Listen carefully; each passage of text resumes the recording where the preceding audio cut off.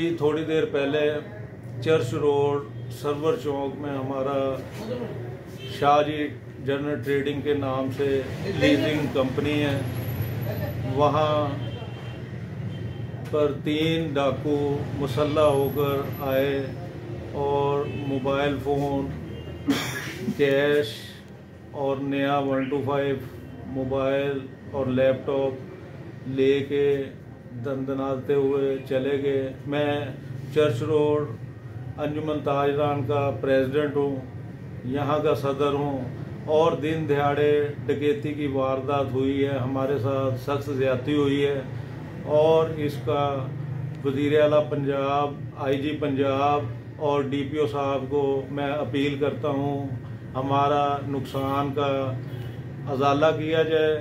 और उन डाकुओं को फिल फॉर गिरफ़्तार किया जाए। अगर वो डाकू गिरफ़्तार ना हुए तो हम पूरा शहर जो है ना, उसको बंद कर देंगे।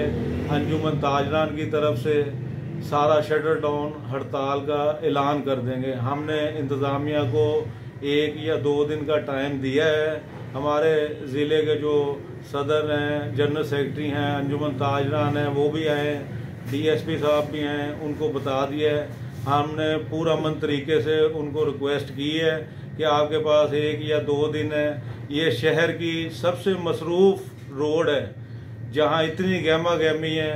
हाँ जी, और दिन दिहाड़े इतने ऐसी वारदात का होना ऐसे है जैसे सिक्योरिटी नाम की यहाँ पर कोई चीज़ नहीं है।